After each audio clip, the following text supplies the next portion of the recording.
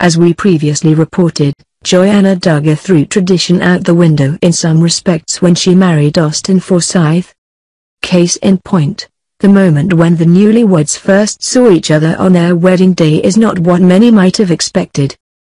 I love you were the first words Joy-Anna Duggar and Austin Forsyth exchanged when they saw one another on their wedding day.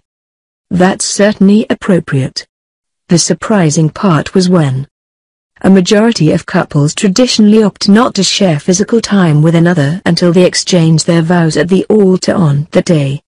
The Counting on Stars, who wed in front of a packed church full of family and close friends, decided that was just not for them. It's hard to be apart for a few hours when you're in love. I love you, a smiling Joy-Anna, 19, told Austin, 23 at the church in the video below filmed by TLC before she walked down the aisle. You're so handsome.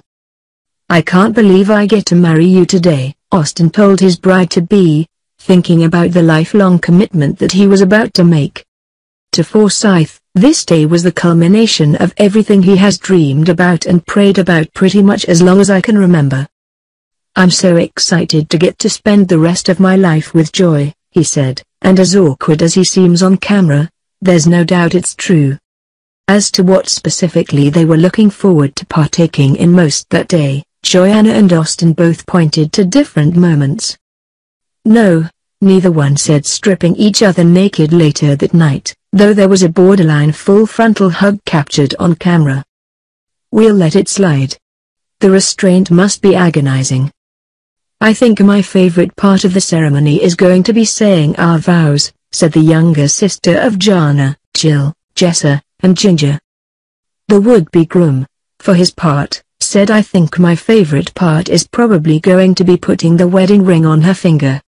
Joy and Austin, who abided by the physical boundaries throughout their courting that we've all come to expect, did acknowledge that.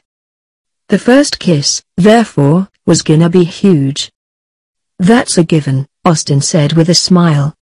After tying the knot, the longtime family friends, 15 years they've known each other, embarked on a honeymoon to Geneva, Switzerland. We chose Switzerland because we knew that it was very beautiful, shared Joy-Anna in a recent video from the location.